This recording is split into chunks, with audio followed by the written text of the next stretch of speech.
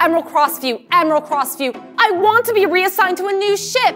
People are upset at me for causing that fight over Sarah and Topaz. Apparently now my name is Mud. Why should they be mad at you? Those silly topaz crazed weirdos.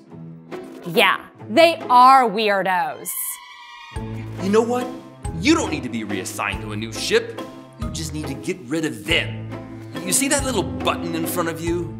Just push it, and you'll be sealed into that room, and everyone else will be sucked out into the void. I. I don't know. That seems a little harsh. Don't you think? No, it's not harsh at all. Push it! Come on, fight for yourself. Push that button. Don't do it, Commander Leah. My evil duplicate is trying to trick you again. Oh, thank goodness! I mean, they are all weirdos, but I don't think that I could have sucked them out into the void just because of that. Why do you call them weirdos? That's not very kind. Just because they think differently than you, it doesn't mean that they are weirdos. Well, they don't like me. They think Sarah is great. Sarah, Sarah, Sarah, blah, blah, blah. They speak my name in hushed tones. I know that they're talking badly about me. Commander Leah, names are powerful things. Calling someone a weirdo hurts that person. Them talking about you behind your back hurts you. You're right about that. I think the name of God that we're looking at can really help you with this. You know, we've been talking a lot about how God is Jehovah Maginnenu. Maggie Mumu? No, Maginnenu. Last time, the crew learned that it means the Lord is our defense. He defends us from our enemies. But there's more to it than that. The Lord is also a strong tower. Computer, can you pull up that verse? Accessing. Verse found. Proverbs 18:10. The name of the Lord is a strong tower. The righteous man runs into it and is safe. The Bible describes God's name like a strong tower.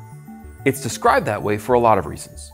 The first reason it is a strong tower is that God is always true to who He is. You can count on Him. His covenant name is Yahweh, Jehovah, which means I am that I am, or I will be what I will be. It means God is the same today, yesterday, and forever. You can count on Him. Throughout Israel's history, there were a lot of guys who looked like people you could count on. People like Moses, Saul, David, and Solomon. They all seemed to start well, but they just didn't end well. Over time, they changed. It's because they weren't perfect. They had sinful hearts, like we all do.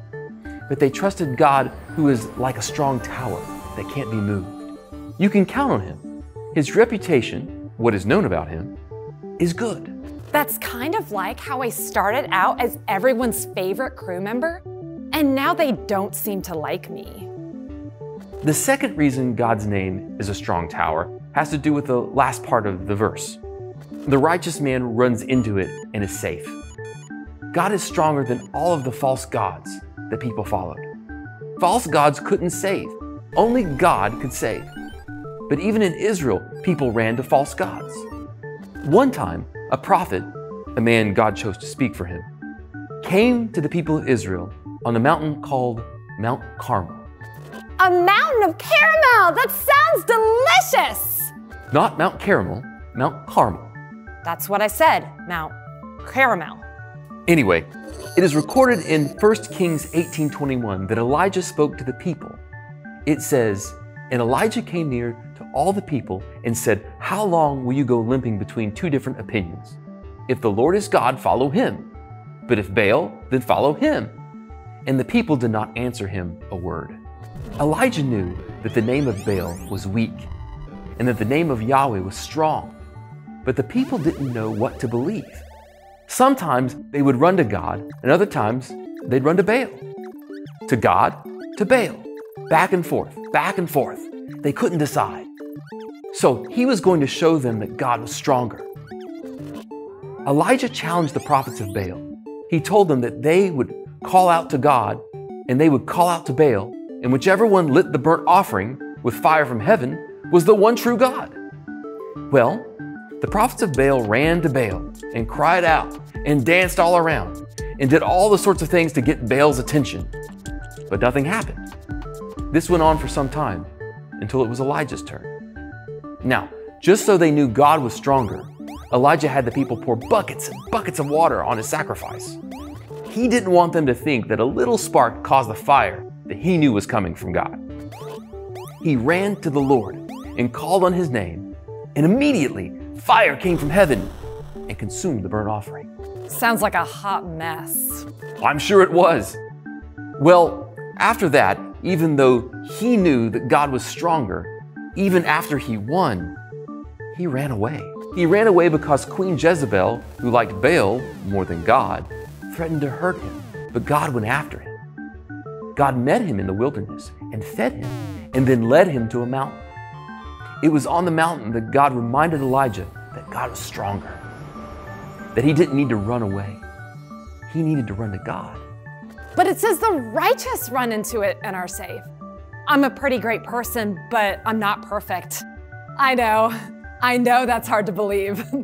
None of us are. Jesus died and gave us his righteousness, remember? He writes his name upon us, and we are his. We run to God, and he makes us righteous. No matter if our name is mud, to him our name is beautiful, because he has made us beautiful in Christ. Knowing that should give us joy, and the joy of the Lord is our strength. Commander Leah, there you are. Why are you hiding in here? because no one likes me. They're all whispering mean things about me because they like you better than they like me. Don't be silly. They aren't whispering mean things about you. They're whispering about a surprise party we're going to have for you. Surprise party for me? But it isn't even my birthday. No, we've decided it's no Topaz Day, just for you. So you aren't still mad at me for that topaz thing? No, we've forgiven you. The Lord can forgive you too. He's mighty to save. In fact, Acts 4:12 says, "And there is salvation in no one else, for there is no other name under heaven given among men by which we must be saved."